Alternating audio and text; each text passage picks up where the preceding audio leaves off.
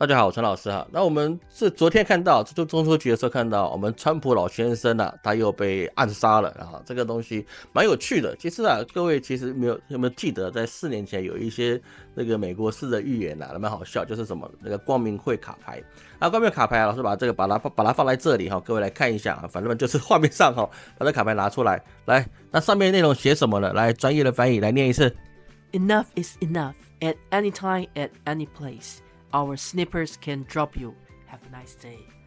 这有没有很有意思呢？就是说啊，你看呐，他这个这个光明会的卡牌啊，就是直接是说他会被 会会被狙击啊，在任何地方 都被狙击。那这个东西啊，其实有人会说，老师这是不是影子政府干的好事？其实啊，这个光明会卡牌啊，你要说它到底是不是哦，其实这个很难去理解，毕竟我们文化不一样。但是它的标题很好玩，就是 enough is enough，就是说够了就是够了哦。那意思就变得怎么样呢？你第一次暗杀，你可能会有一些舆论，或是有一些那种造神的一个态度出来。但是到第二次的时候啊，其实我们可以看到网络上哦，对于这件事这次的暗杀，他其实没有太大的激情，也没有太大的一些波浪。当然，那个拜登总统啊，他还是对我们川普前总统啊做了一些慰问，也宣布了我们不能够有什么，在美国不能够有这些暴力行为。这个有没有暗杀他？美国暴力行为还会少吗？应该也是不少的。所以说这次的暗杀行动啊，其实并没有对我们的一个特朗普老先生有什么太大的影响。那传闻呢，老师看到网络上的一些新闻，还有一些人解说啊，那个这个狙击手他使用的是 AK 步枪，好像是改造过 AK 步枪。但是老师身为一个退役的老兵啊，我只能说，他距离几百米远，你用 AK 去暗杀哦，应该是不容易了。因为我们打靶过都知道。你 A K 啊，你来来当狙击枪啊，是蛮不适合的。五十米的距离啊，你可能就有可能会偏了。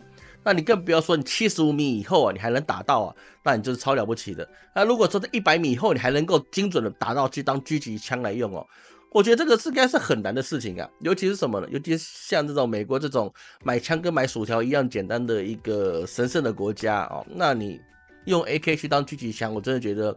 这个犯人哦，他是不是本来就不想打到的意思的存在啊？当然，我们不是说共和党或是影子政府特别设这个局啊，但是呢，只是有人在讲。那老师认为是说啊，这件事情其实对特朗普老先生呢他的选情啊，没有什么太大的一些影响。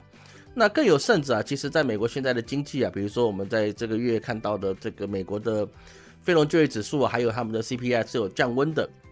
在这个状况之下，很多人会很多人就认为说美国的经济是比较强劲的，是比较好的。那其实数据上看起来是这样没有错，但实际上我们看到波音啊，还有英特尔啊，它其实这些龙头型的企业啊，他们遭遇到了很大的危机。那么在这个状况之下，他们所能造成的一些下低效应，也就是说富豪赚饱钱了，然后他们留下来这些就业机会给劳工的，那空间就会变得比较狭窄一点。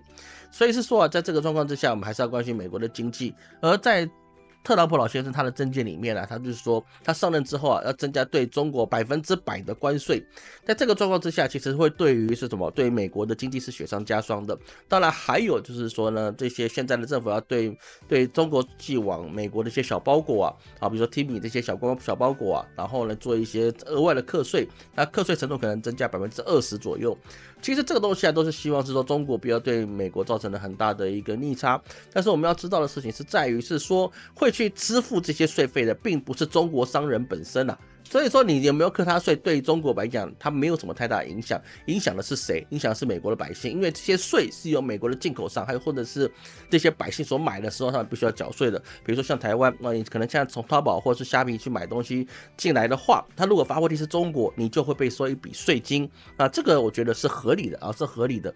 但是是说，在美国现在的经济层面来讲啊，其实是比亚洲是比较。比起来，美国是比较差一点点的啊，这个意味是存在的。毕竟我们亚洲的游民啊，除了印度之外，其实其他国家是比较少的。那在这个状况之下，我们要去看特朗普老先生他在对。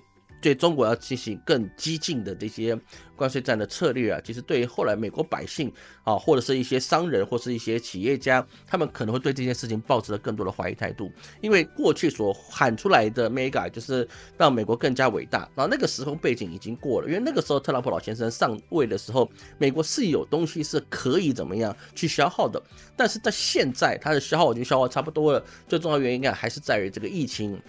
啊，你要 Q 一，然后现在又要 Q T，那很多事情啊，并不会那么样的顺利。所以说，在这次暗杀结果之后啊，其实对特朗普老先生的选情啊，哦，本来就会投他的，是更加的坚定；本来就不投他的，会觉得你你又来暗杀第二次了。因为这件事情为什么没有掀起很大的波澜？其实，在美国的一些舆论呢，或是一些媒体人里面，在第一次暗杀之后啊，他们就想，这个一定会有第二次或第三次啊？为什么？因为其实会做这样的事的人，其实就是仇恨蔓延嘛，政治仇恨蔓延。但当然。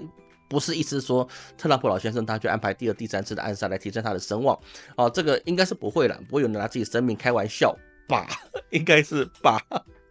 好，所以说我们要注意这一点。然后这暗杀啊，其实不光是是说对政坛可能掀起的波浪会比较小啊，再来就是说，呃，对美国后面的一些对中经济政策上面呢会有一些的问题。那剩下的我们周日再来看。我是陈老师，我们下次见。